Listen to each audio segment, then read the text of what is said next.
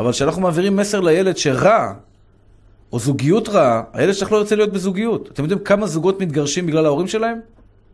לא שההורים מתערבים, זה טיפשות בפני עצמה. זה, זה, זה גרוע ביותר. אני מדבר על זוגות שהתגרשו בגלל הדברים שהם הביאו מהבית. למשל, אימא שבאה ומספרת לבת שלה, אוי, אבא שלך שיהיה בריא, איזה בעל קשה, קמצן, רע מעללים.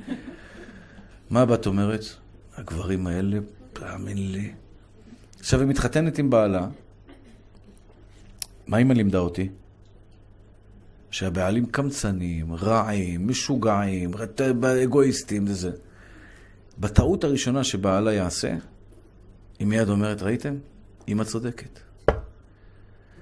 עכשיו, הבעל מסכן ילד טוב, מקסים, בחור חמוד, עשה טעות קטנטנה. אבל אימא שכנעה אותה שהאבא הוא רע, ואותו דבר אבא שכנע שהאימא רע. בן אדם מגיע למערכת נישואים עם מטען רע שההורים שלו העניקו לו, וגמרנו את הילדים שלנו לפני שהם התחתנו. את רוצה להעביר דברים טובים לילדים שלך?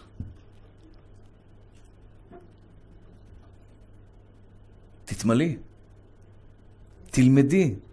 אין דבר גדול יותר מאשר ללמוד. אם אתם רוצים ילדים טובים, בריאים בנפשם, שזה באמת מתנה גדולה, אתם חייבות להראות להם את הדוגמה.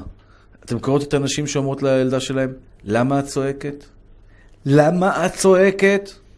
כמה פעמים אמרתי לך לא לצעוק? גברת, את שומעת כמה את צועקת? שאת אומרת לבת שלך, למה את צועקת? את רוצה שהבת שלך לא תצעק? תדברי את בנחת, היא תלמד ממך לדבר גם בנחת.